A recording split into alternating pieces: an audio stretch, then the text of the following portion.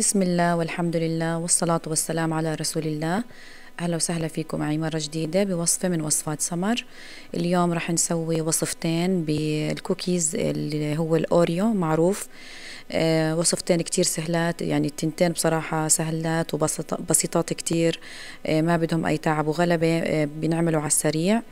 آه وصفة حنسويها بالميكروويف والوصفة الثانية آه ما بدها فرن ولا إشي. آه بتمنى يعجبوكم خلينا نبلش.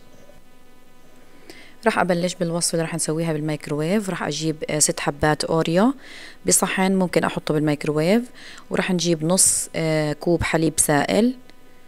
وراح نهرسهم آه أو ندوبهم بالحليب.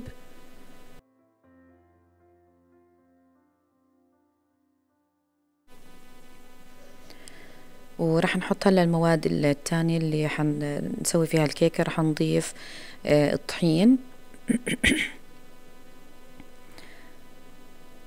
راح أحط تقريبا معلقتين ممسوحات طحين يعني مش معبين أو معلقة كبيرة ونص يعني معلقة مليانة ونص. وحطيت هون برضه معلقة كاكاو عشان اللون يكون عندي هيك زي كيكة الشوكولاتة وربع ملعقة baking powder كبيرة أو نص ملعقة صغيرة baking powder ما حنكتر baking powder لأن الكمية قليلة. إذا بدك تكتر يعني تضاعفي الكمية أكيد راح تضاعفي هاي بدل ما تحطي مثلا نص ملعقة صغيرة حتحطي معلقة صغيرة كاملة من ال baking powder وهون أنا حطيت معلقتين كبار زيت زيت نباتي.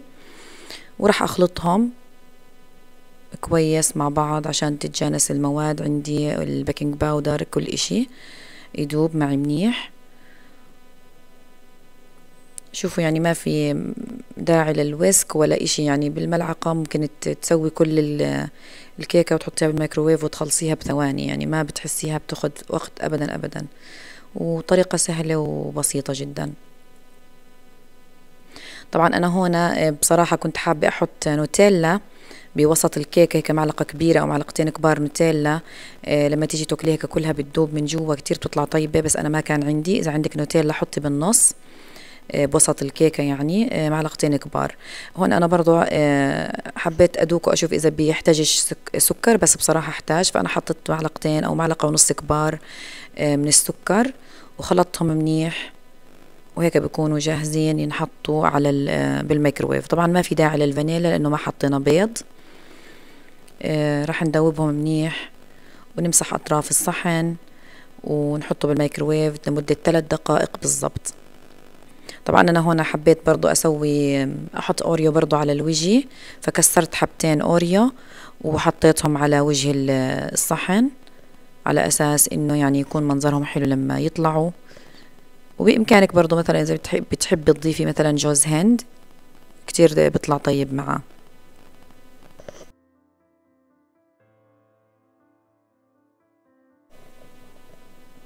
وهي هون عندي لما حطيته ثلاث دقائق بالميكروويف جاهز للأكل. يعني طريقة جدا بسيطة بتخلصيها يعني بخمس دقائق. يعني تحضيرها بصراحة ما أخذ مني دوب دقيقتين ثلاث وبالميكروويف ثلاث دقائق. وهيك صارت جاهزة زي ما حكيت لكم إذا عندكم chocolate syrup آه شوكولاتة سايحة تسيحي شوكولاتة تحطي على الوجه برضه بيرجع لك. هلا الطريقة الثانية هون راح أحط أنا بال processor ال food processor أو بدي أطحنهم يعني الأوريوز. حطيت هون 30 حبة أوريوز. عشان يعني أنا عديتهم عشان أكون دقيقة معكم بالضبط أحكي لكم ما حطوا الباكيت كله نصه. آه يعني الكمية هاي 30 حبة أوريو. حطيتهم بال processor وطحنتهم منيح. عبين ما صاروا هيك زي ما شايفين انتو بودرة. أو انطحنوا منيح يعني ما فيهم أي حبات كبيرة. وراح أحط علبة قشطة. بصير برضو تحطوا جيمر نفس الشي اللي هي الباكيتات. باكيت واحد جيمر كافي. وراح أطحنهم منيح. حتى يتجانسوا هيك وراح أضيف كاكاو كمان عشان اللون برضو يطلع حلو. وبرضو بيعطي نكهة زاكية حطيت تقريبا معلقتين كبار كاكاو وطحنتهم عبين ما شفت القوام تبعهم جامد كويس. وبس هاي يعني بإمكانكم حتى ما تحطوا كاكاو وتقللوا كمية يعني تحطوا مثلا ثلاث أرباع علبة القشطة. بس اللون بيطلع أحلى وطعمته أذكى يعني الكاكاو معاه. حنطحنهم وحنحطهم في صحن. إذا شفتيهم بدهم كمان كاكاو بتضيفي لهم كمان ملعقة وراح أحطهم بالتلاجة يبردوا علشان أعرف آه، أكورهم زي ما أنتم شايفين بهالطريقة هاي. حطيتهم بالثلاجة ساعة وبعدين طلعتهم عملتهم كور أو طابات صغيرة. وأي إشي عندك للتزيين آه، بتقدري تستخدميه. أنا هون عندي التويكس هذا البودرة آه، عندي زي هيك الشغلات هاي اللي بنحطها على الكيك اللي بتزين الكيك فيها sprinkles والشغلات هاي الطبات الملونة. عندي جوز هند برضه.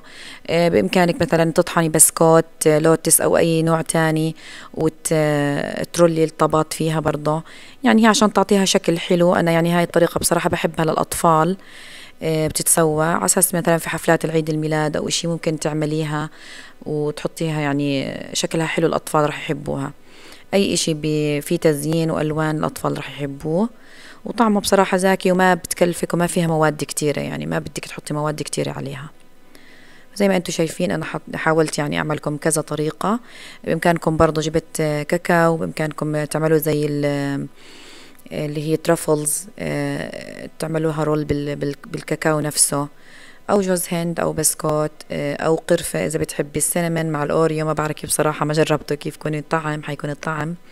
يعني بإمكانك أنت تتفنني أو تشوفي شو عندك بالبيت وتتفنني فيه. طريقتنا كتير سهلة يعني الطريقتين بصراحة حبيت أعملكم إياهم مع بعض لأنهم التنتين سهلين وما فيهم يعني ما بياخدوا وقت ولا إشي.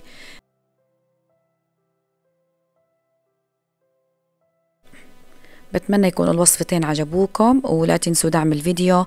وصحتين وألف عافية وأهلا وسهلا فيكم مرة تانية بوصفات سمر.